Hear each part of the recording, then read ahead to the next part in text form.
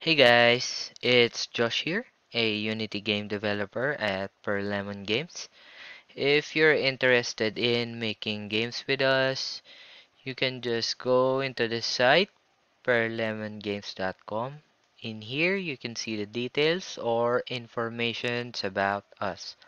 Or if you want to try our games, you just click this button right here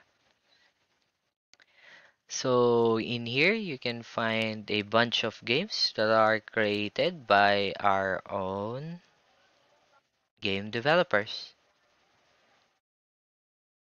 In this video, I'm going to show you a quick Unity tip regarding in our inspector. So for example, you're developing a game with a lot of game objects or players or enemies and one inspector isn't enough.